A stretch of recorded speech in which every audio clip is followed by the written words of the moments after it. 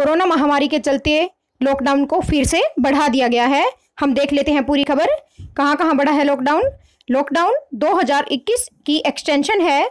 दिल्ली में 17 मई तक बढ़ा लॉकडाउन और अब की बार दिल्ली मेट्रो का संचालन भी बंद होगा।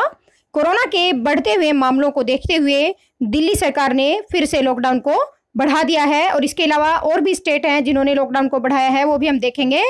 कोरोना वायरस संक्रमण के केस में मामूली कमी के बावजूद अरविंद केजरीवाल ने दिल्ली में आगामी 17 मई तक लॉकडाउन को बढ़ा दिया गया है।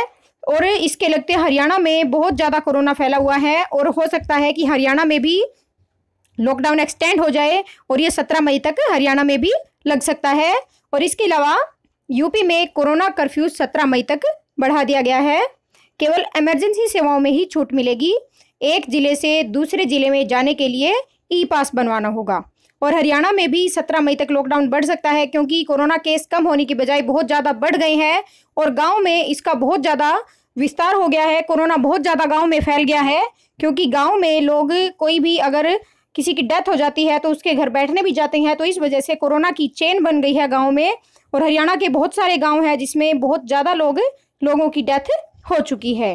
तो इस कोरोना की चेन को तोड़ने के लिए आप सबसे एक अनुरोध है कि आप घरों से बाहर न निकलिए, क्योंकि ज़िंदा रहना ही इस इस माहौल में जो ज़िंदा रहना ही एक बहुत बड़ी उपलब्धि है, अगर ज़िंदा रह जाएँगे इस 2021 में।